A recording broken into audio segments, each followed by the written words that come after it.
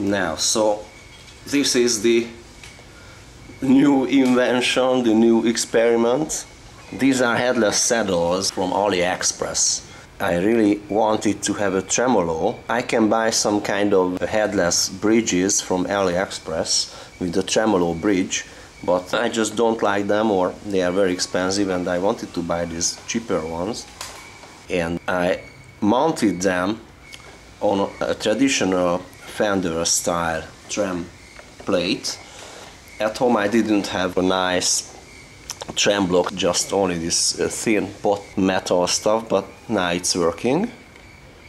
I had to bend back the back of the trem plate where actually originally you screwed the six saddles at the end of this plate and I still kept it but I bent it back and I had to drill new holes but uh, the A6 and the A strings use the original holes and uh, four of the saddles are using the new holes that I drilled in the plate.